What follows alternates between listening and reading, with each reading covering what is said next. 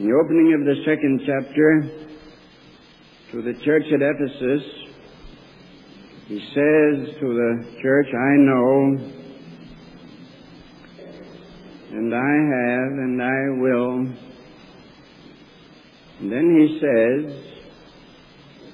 He that hath an ear, let him hear what the Spirit saith unto the churches. And he repeats that six times, making a total of seven. The Lord is speaking to His church out of heaven to His church. Our victorious human brother in God's presence for us now is speaking to us for our good admonishment, speaking through His Word. And if you will read in the Philippians these words, where he says, Our Lord, being in the form of God, thought it not robbery to be equal with God, but he made himself of no reputation and took upon him the form of a servant and was made in the likeness of men. And being found in fashion as a man, he humbled himself and became obedient unto death, even the death of the cross.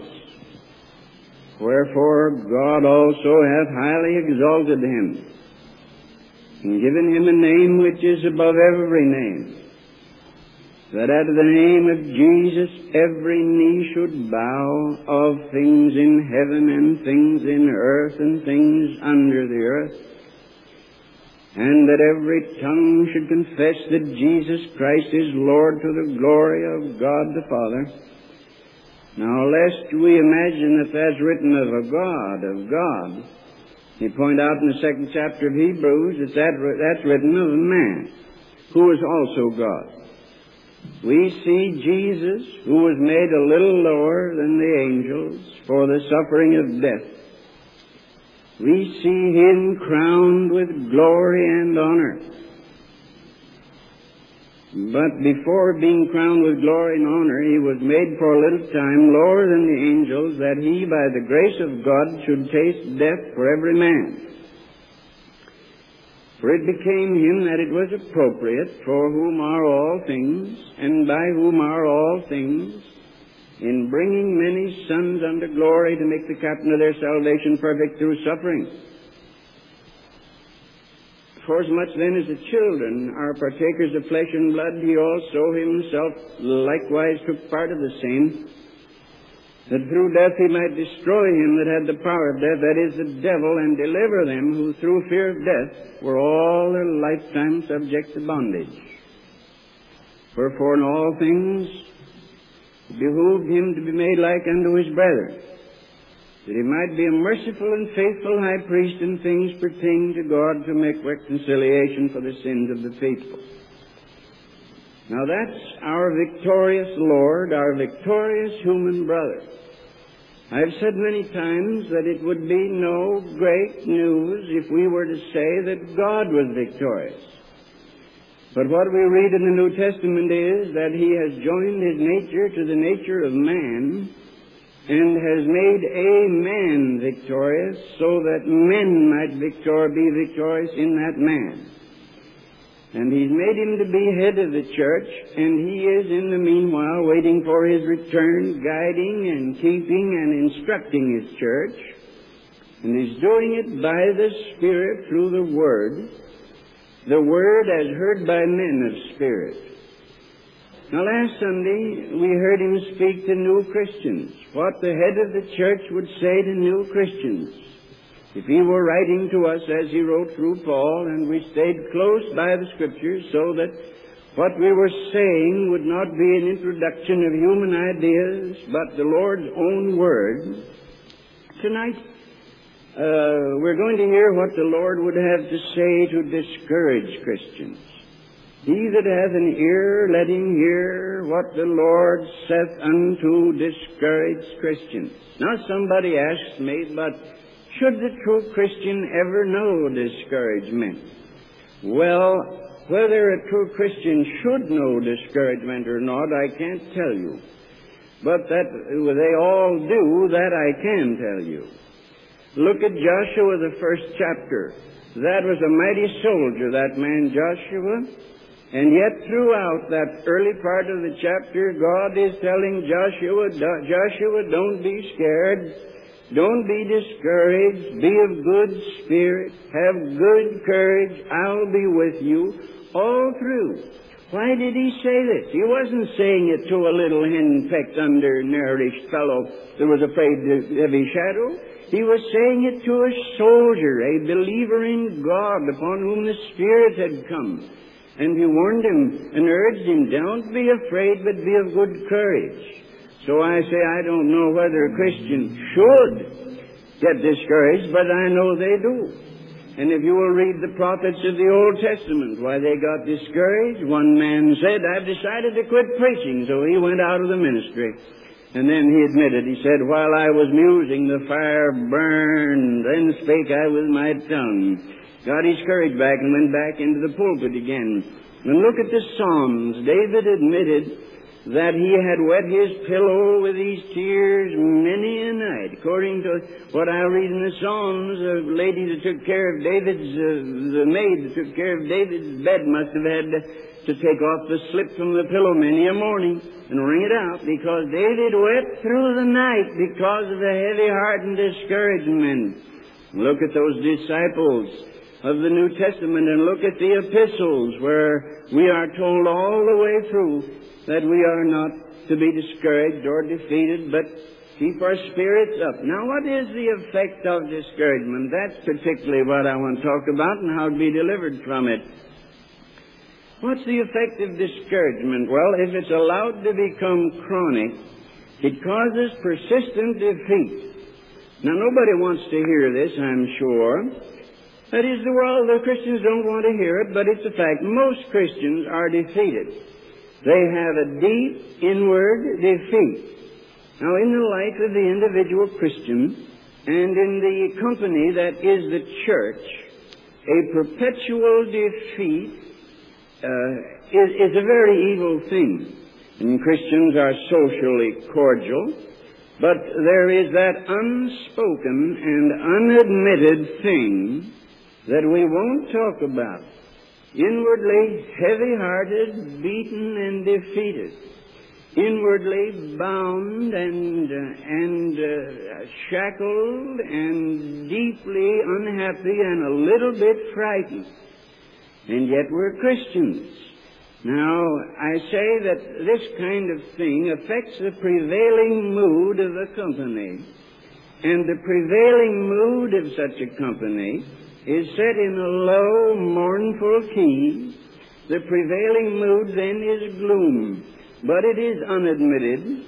I'm quite sure that the average church is not happy, but that the, the unadmitted mood, the key you are set in, is not a high, bright, happy key, but it's a low, growling key, a gloomy key. And then the churches try to dispel this by a number of methods. One of them is by multiplying activities.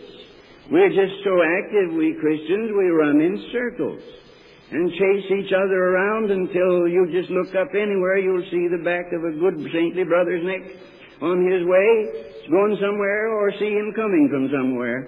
We try to dispel our deep unhappiness by being very active, but the fact is it doesn't work. Or we try to do it by the introduction of religious fun. That's been our method in the last few years. Instead of having a, a, a victorious inward life, we have a defeated, heavy inward life, and they can only keep from breaking down and, and really breaking down and having a crying time by having some religious uh, entertainment.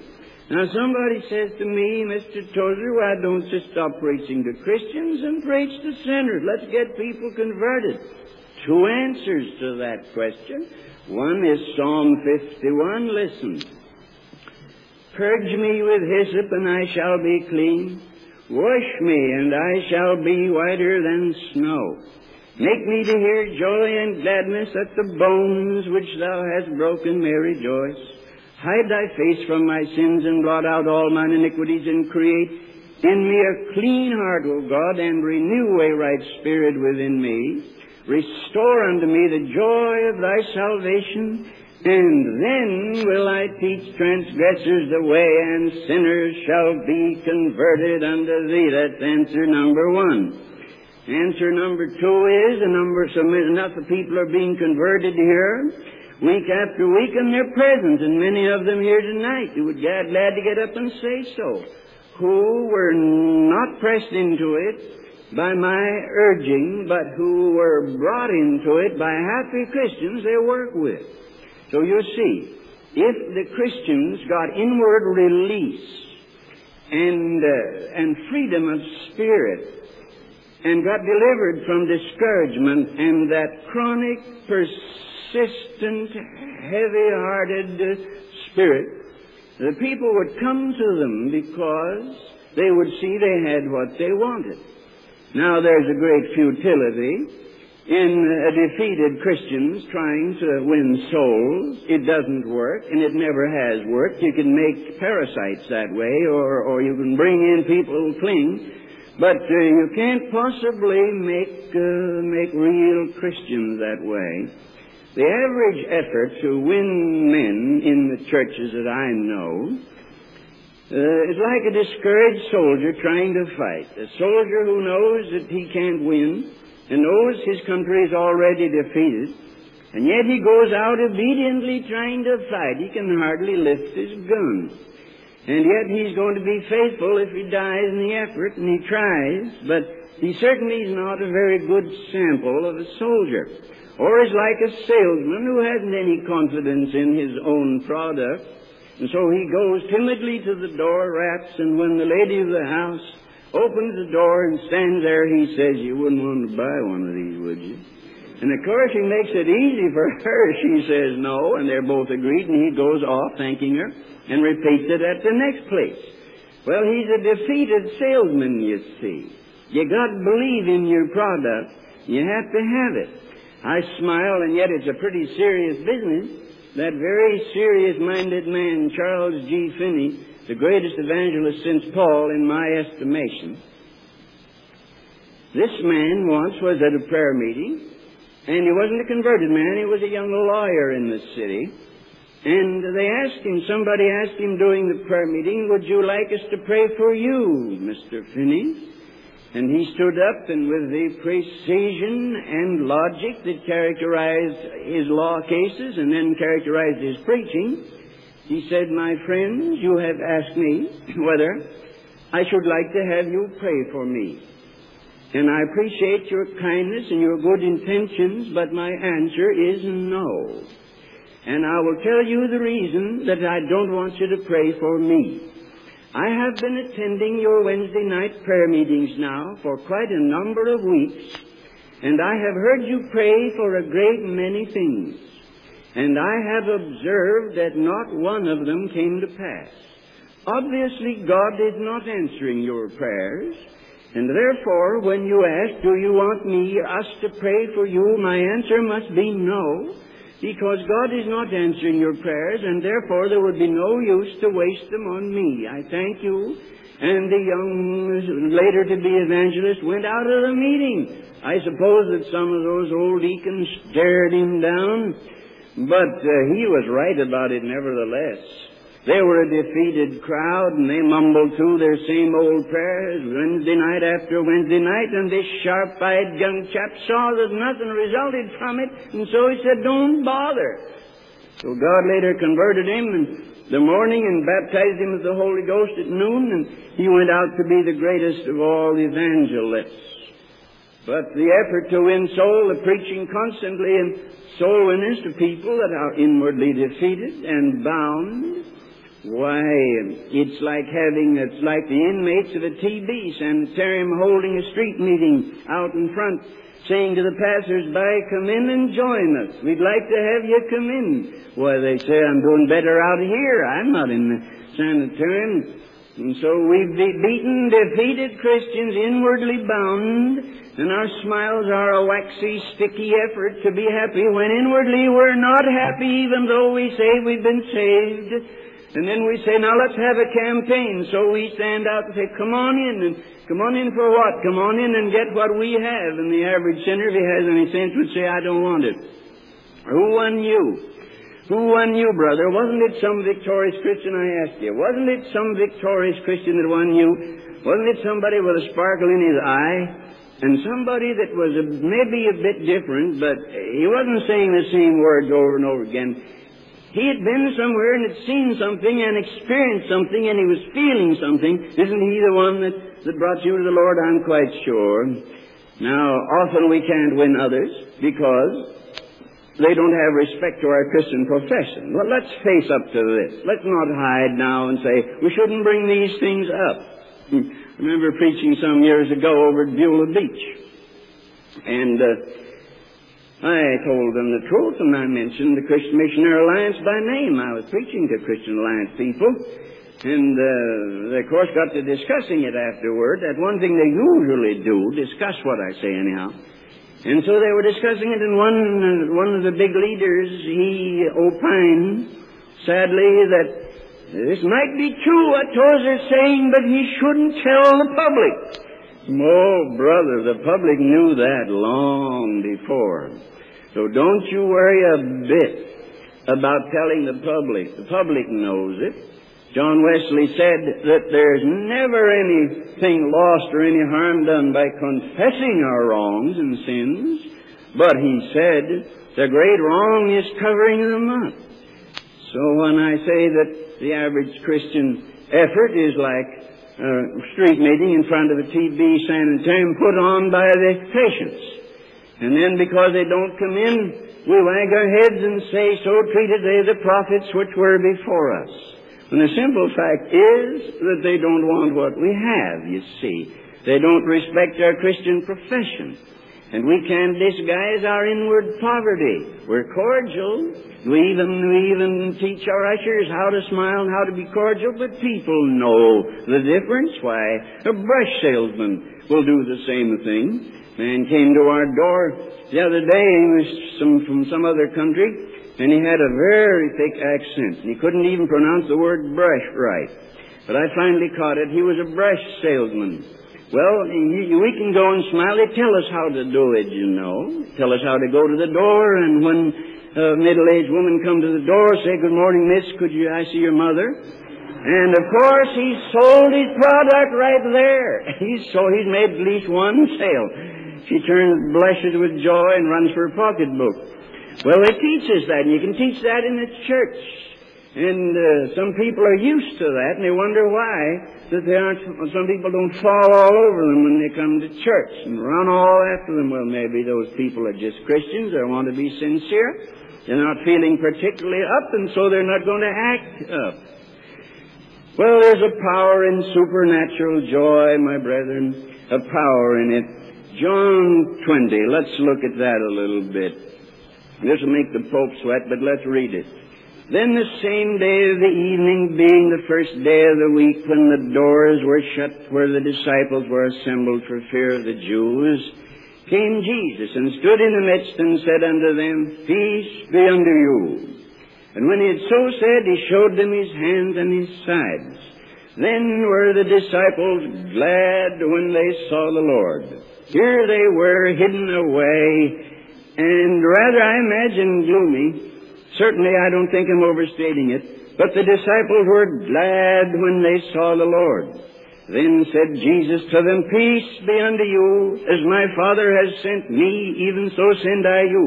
And when he had said this, then he breathed on them and said, Receive ye the Holy Ghost. Whosoever sins ye remit, they're remitted unto them. And whosoever sins ye retain, they're retained. You see, I give you my joy, I give you my spirit, I send you as I was sent, and whoever you win will be won, and whoever you fail to win will be lost. You see it, don't you? Nobody with keys and a long robe and a shaved head Nobody formally put up here, no priest or somebody that's supposed to forgive sins. I remit your sin. No, no. He said they were glad when they saw the Lord, and he said, Now I breathe on you, I give you the Holy Ghost, I give you my joy, and now go win them, and if you win them, they're won, and their sins are forgiven. So the Lord has put in the hands of His people a tremendous power, but He's put Himself in the hands of a, of a delivered people, not a defeated people, of a happy people, not an unhappy people.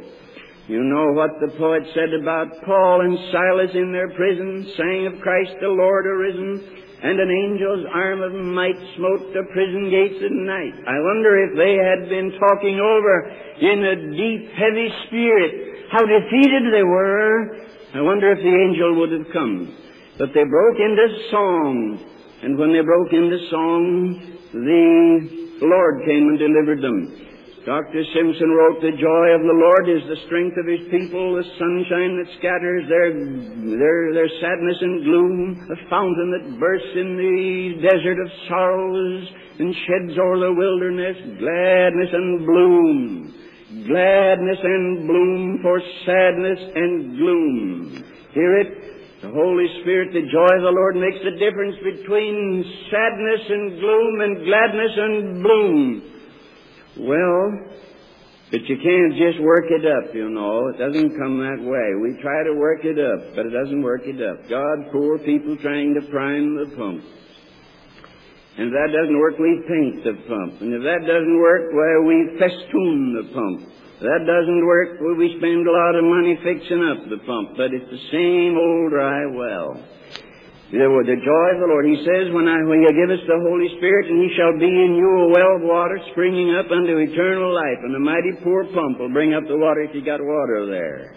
And that will be even an old rusty pump and a plain looking pump. You got the water. But you can paint your pump and festoon your pump and call your pump by a new name and call it uh, Operation Rusty Pump and spend a hundred thousand dollars on it, and when you're finished, you still got a rusty pump without water. But the joy of the Lord is the strength of His people, a sunshine that scatters their sadness and gloom. And I tell you, you can't just work it up. It comes by deep inward release. Release. You hear me? Release. Now, some Christians are like political prisoners. They're, they're God's people and they're they're, but they're, but they're in a prison. They're alive and they're loyal, but they're despondent and weak. I think of a political prisoner put in prison by some dictator or despot. And that prisoner hasn't shaved and he hasn't bathed and his hair doesn't grow and he doesn't get enough to eat and he's yellow from not having seen any sunshine and he's weak from lack of exercise. But he's loyal and he's alive. And that's two things you can say for him. And a lot of us evangelicals, the only two good things you can say about us is we're loyal and we're alive. But we've been the prisoner of our own gloom, and the prisoner of our own discouragement, and the prisoner of our own defeat. And so we're despondent and weak. Well, the Scripture says Christ has come to set us free. Now, I believe that. Let me read here what it says. Uh, Blessed be the Lord God of Israel. Now, this is the New Testament. For He has visited and redeemed His people and hath raised up a horn of salvation for us in the house of his servant David, as he spake by the mouth of his holy prophets, which have been since the world began, that he should, we should be saved from our enemies. That enemy that you won't talk about, don't tell anybody about, try to smile and cover up, but he's there eating at your heart. We should be saved from our enemies and from the hand of all that hate us and that we, he would grant unto us that we, being delivered out of the hand of our enemies, should serve him without fear in holiness and righteousness. You hear me? In holiness and righteousness. Holiness has to do with my inward condition. Righteousness has to do with my outer conduct. So, being delivered and without fear, we, we, we become holy and we live righteously all the days of our lives. Thou child, thou shalt be called the prophet of the highest, for thou shalt go before the face of the Lord to prepare his ways, to give knowledge of salvation unto his people by the remission of their sins, through the tender mercies of God, whereby the day spring from on high has visited us, to give light to them that sit in darkness, and in the shadow of death to guide our feet into the way of peace. And that's what it says in Luke 1, 67 to 78. Now somebody says, is this for us? Is it true that we could be as a church a happy church, a people, a, a people lifted up and inwardly released, a people happy from a spring of, of happiness within us?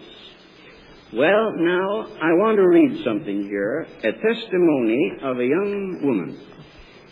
I asked her permission and she granted it. But of course the name will not be given here. She can give this testimony sometime she wants to publicly. But she wrote me this, and uh, I, I just want to read bits of it, not all of it, but a little bit of it. I'm glad for this because it seemed as if God's work here is all, all with men. We got so many young men who are finding the Lord and coming about. A young fellow came down to the front this morning to talk with me and told me what a wonderful blessing he'd had here. And I think he said two people out in, in his in his own in his own where he works or where he goes to school or something. I didn't pay, didn't catch that too closely. Who had been saved, and so the young men are coming. But here's a young a young lady now. She writes me this. She wrote a nice little card for our um, wedding anniversary and included this letter.